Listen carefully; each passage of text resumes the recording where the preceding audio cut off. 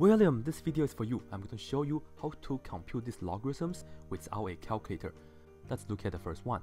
The first one is log base 6 of 36 is equal to what? First, let me show you a more traditional way on the side right here. Let me write down the question again. Log base 6 of 36. Well, here is the thought process. I don't know how big this number is, right? So let me call this number to be a variable, let's say k, just an unknown at the moment. And you see, this equation here, it's in the log form. What we have to do first is we have to change this into the exponential form.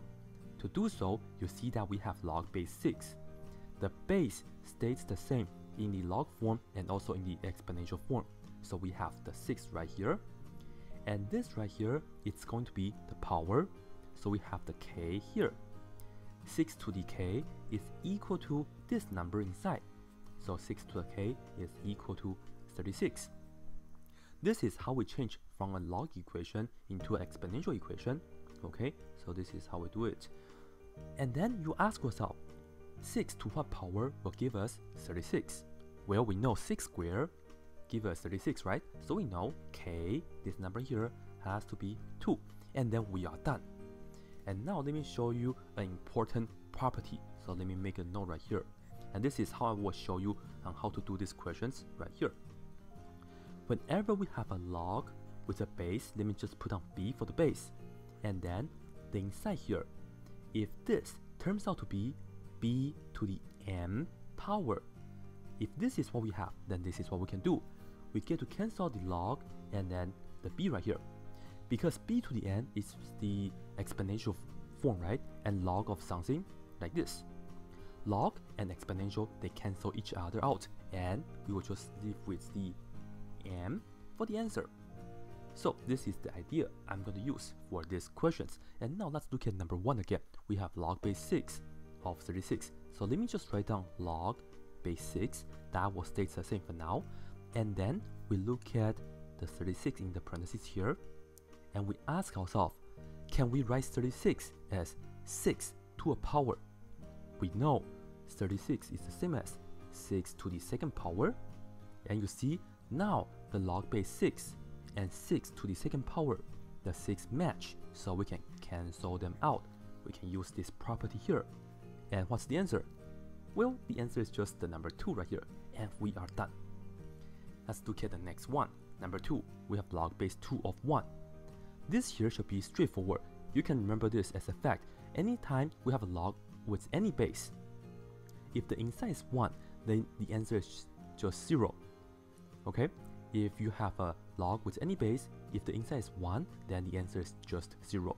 And now let me show you how come it is 0. Log base 2, let me just write it down as how it is. And then, similar strategy, I look at the number inside of the parentheses, it's a 1. And we ask ourselves, can we write 1 as 2 to a power? Yes, it's a tricky one, but then we can still do it. We know 2 to the 0 power is 1, right? And now you see log base 2 right here, and this 2 cancel out, and then we have the answer 0. And then we are done again. Number 3, we have log, and is there a typo that I forgot to put on number right here or what? I just have log, I didn't have any number. What does this mean? Well, it's not a typo, it's not a mistake. Whenever we have a log without any number here, this means we have log base 10. Okay, we have log base 10. You should remember that. And then, right here, when we have square root of 10, well, I want to use this idea here. For the inside here, we want to make it look like something to a power, right? So, let's look at square root of 10. The square root, we can write it as a power form. You have to remember, square root is the same as to the 1 half power. So, when we have square root of 10, let me first write down 10, and you see this 10 and this 10 match. And now, the square root is the 1 half power. And once again, log 10 here cancel with that, and the answer is what? Just the 1 half.